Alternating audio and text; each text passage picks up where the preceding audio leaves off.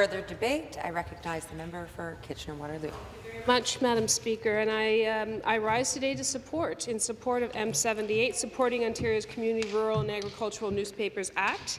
Uh, this is a solid start to supporting the growth and use of local and community newspapers. In addition, the importance of rural and agricultural newspapers, and I want to speak to the great presence of the ethnocultural and non-English press in Ontario. Speaker, more than 5 million people in Ontario don't consider English their first language. They, they, they might rely on ethnic, ethnocultural, and non-English newspapers in order to get important information, including the municipal notices, to the public that the member of Carleton has been talking about. In my riding of Waterloo, there are a few non-English newspapers, such as the Chinese Canada Voice, paper and the Alem Fronteiras, a Portuguese paper, and every month all of us members in this House get a community newspaper in Arabic to remind us that non-English newspapers exist and they matter.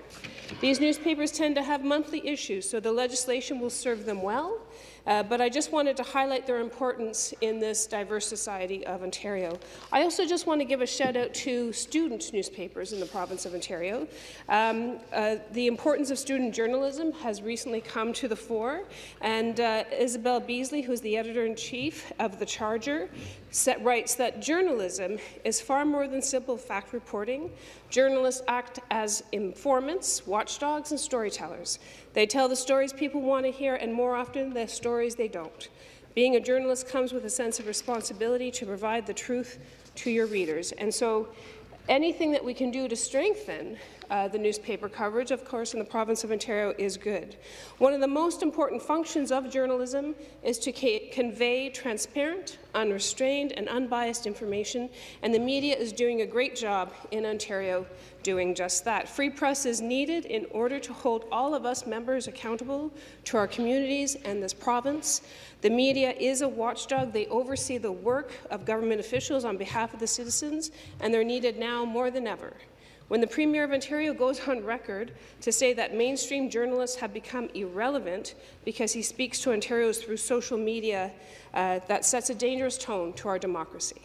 When the Premier limits the number of press conferences he does, that sets a dangerous tone to our democracy.